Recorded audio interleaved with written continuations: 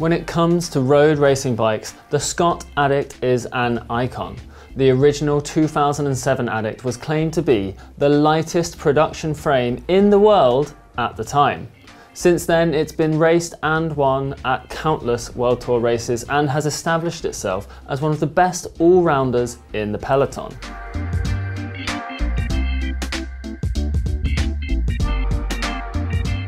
The Merida Scultura, on the other hand, is a bike that not everyone will be as familiar with. Though Merida has been making bicycles for over 50 years, it only made its World Tour debut relatively recently in 2013. Since this most recent Scultura was revealed last summer, it's already been ridden to significant victories at the biggest races in the world, including the 2022 edition of Milan San Remo, where Matej Mohoric famously used a dropper post to help him distance the other favourites on the descent off the Poggio. Both bikes occupy the lightweight all-rounder space with full carbon frame sets, aero tubes, integrated cable routing and fast reactive handling. As part of our annual Bike of the Year tests, I pitted these two head to head to find out which one is best. But before we dive into that, a quick reminder to subscribe to our channel if you want to see more in-depth independent bike reviews like this. The exact models that I tested are the Merida Scultura Team, which costs £8,000, and the Scott Addict RC10, which costs £5,949. As I'm sure some of you will be keen to point out in the comments, the two builds aren't exact matches for each other in terms of pricing or specification, but rest assured I did take that into account during testing and we'll dig a little deeper into how those differences play out on the road throughout this video. Even we here at Bike Radar aren't immune to availability issues after all. The latest Scott Addict RC shakes up the formula significantly. Rim brakes, skinny tyres and round tubes are out, while hydraulic disc brakes, wider tyres, truncated aerofoil tube shapes, drop seat stays and integrated cable routing are in. The new Merida Scultura meanwhile is the archetypal World Tour race bike aero tubes, long and low geometry, drop seat stays and an integrated full carbon handlebar. It's got it all. Overall then, the frame sets have a lot of similarities at first glance. On the scales, there's an 800 gram weight difference between these two bikes with the Scultura team weighing just 7.1 kilos and the slightly cheaper Addict RC10 coming in at 7.9 kilos. Much of that can be attributed to the slightly lower spec build on the Scott Addict RC10 rather than the frame sets alone though. Both come in around the 1.2 kilogram mark for the frame and fork combined. If you go up to the next model in the Addict RC range, the Addict RC Pro, which matches the Scultura team's price and spec more closely, that closes the gap to around 150 grams. That's still just over the UCI's 6.8 kilo weight limit, but unless you're only interested in hill climbs, then both of these bikes are going to be faster than the older, lighter rim brake equivalents. However, if you are only interested in hill climbs, then you can click on the card to watch our Hill Climb Diary series right now. Biggest differences between these two bikes though comes in how they feel out on the road. The geometry of the Scultura is a little bit more aggressive than that of the Addict RC, with steeper angles, a tighter wheelbase and a lower front end. All in all, it just feels that little bit more nimble and responsive. On the other hand, the Addict RC is a race bike that I would describe as well-mannered and predictable. It doesn't feel like you're riding on edge at all times, instead it's smooth, a little bit more upright and balances its responsiveness with slightly slower handling. Now, that's not to say that the Scultura is necessarily better in that respect. Having more aggressive handling isn't always best for everyone and every situation, and it really depends on the type of riding that you want to do. Personally, I really like the nimble handling of the Scultura and it's a perfect fit for all of the short, sharp climbs and twisty roads around South Bristol. But if I was choosing a bike for long days in the mountains with lots of fast ascending and sweeping turns, then maybe the Addict might be the better pick. Now, despite having bucket loads of stiffness under pedalling, both bikes actually offer plenty of rear end comfort. The Addict RC uses a proprietary D-shaped seat post while the Scultura uses a standard round 27.2mm seat post. Again, both have their advantages and disadvantages. The Addict's D-shaped post should be a little bit more aerodynamically efficient, but it obviously means you can only use the specific seat posts which are designed for this bike by Scott. The round seat post on the Scultura, on the other hand, sacrifices a little bit of aero performance, but means you should be able to always find a replacement if you need one, or if you just want to try out something else that comes as stock, whether that's a seat post with a different amount of setback, or even a dropper post. At the other end of the bike, the Scultura team comes with a fully integrated carbon handlebar, it's a great piece of kit, however, it does mean that adjusting the fit of the bike is very tricky.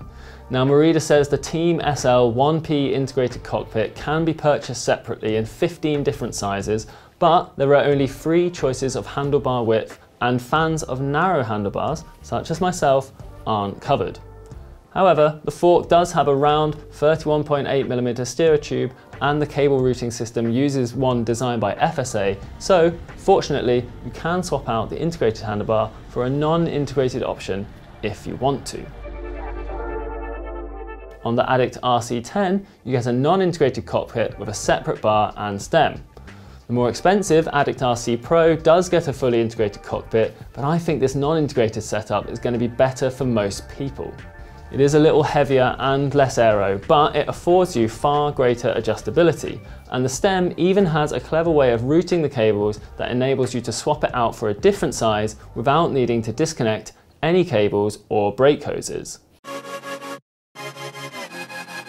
As expected at these price points, the group sets on both bikes are excellent. The Addict RC10 SRAM Force ETAP AXS group set isn't the lightest available, but it functions exceptionally well, and I really like the double tap shifting arrangement. On the Scultura team, we have the new 12-speed Dura Ace R9200, and as we've said a few times on this channel already, it is an incredibly impressive group set.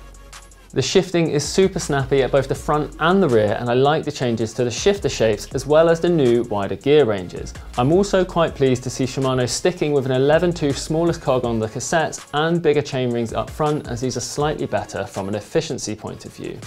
The only question is, do you actually need Dura Ace or would you be better off buying the cheaper Scultura 9000 and pocketing the £2,050 difference? We recently released our in-depth video review of the new 12-speed Ultegra Di2 groupset, and our senior technical editor, Warren Rossiter, says it offers the same mechanical, electronic and braking performance as the new Dura Ace for a lot less money. Ultimately, that's going to be a personal decision. But if you want to watch our in-depth review of the new Ultegra Di2 R8170 groupset, click on the link in the video description below.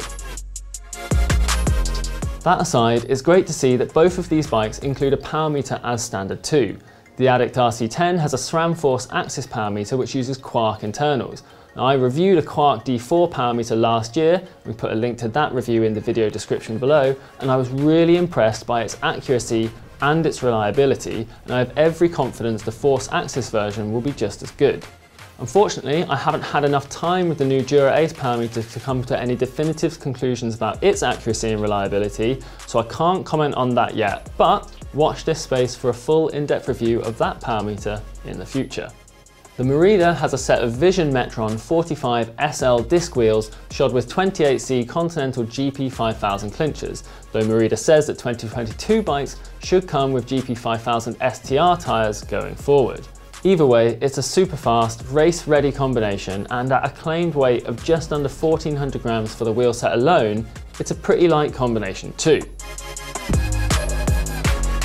On the Scott, you get a set of Syncross Capital 1.0 35 disc wheels and 28C Schwalbe 1 TLE tyres.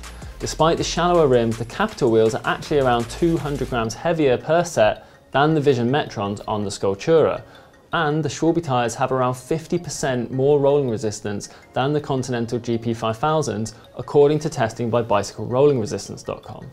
Overall, they're fine, but they're not as rapid as the setup on the Scultura and if the Addict were my bike, I would be looking to upgrade the tyres straight away. That said, this is an area where it is slightly unfair to compare the two builds like for like, as the £8,149 Addict RC Pro mentioned earlier does get a significant upgrade in this area. That build comes with a set of Zipp 303S wheels and Schwalbe Pro 1 TLE tyres and would likely offer much improved performance over what's spec'd on the Addict RC10. The only downside to the Addict RC Pro build is that it doesn't come with a power meter, so the Merida arguably still beats it on value. Now in terms of tyre clearance, the Scott officially maxes out at 700 x 28C. There's a bit of extra room, so it will be possible to push that slightly, but it does lag behind the Merida, which has clearance for at least 700 x 30C tyres. The max clearance on both bikes is fine for the type of fast riding they're designed for, but it is nice to have that bit of extra space available on the Merida if you ever want to do any rides on particularly rough roads. Beyond that, the trend for road wheels and tyres is still getting wider, so it's possible that while 25 to 28C is standard now, those might feel a little bit slim in a few years, and having that extra bit of clearance available on your bike might help future-proof it to a certain extent. To wrap things up then, both the Scott Addict and the Merida Scultura are excellent, lightweight, all-rounder road bikes. Both have excellent frame sets, fantastic handling, and are available in a number of well thought out builds. But this is a head-to-head -head review, so which comes out on top? Well, all things considered, the Scultura just edges it for me. I really enjoyed the slightly more reactive handling, and it's very difficult to overlook just how good value it is. That little bit of extra tyre clearance is also something I'd want to, as it should help the bike stay relevant for a little bit longer. Would I personally buy this specific Scultura team build? No. For a start, I can't afford it. As good as the new Dura Ace is, I just don't think I could justify the price difference over the Scultura 9000 with Ultegra Di2, especially as that build also comes with a non-integrated cockpit, meaning that I could customize it to my heart's content. What do you think though? Would the Merida Scultura be your weapon of choice or would you prefer the Scott Addict RC? As always, let us know what you think in the comments below and if you haven't already, don't forget to give this video a thumbs up, subscribe to our channel and click the little bell icon so every time we upload a new video, you'll get a notification.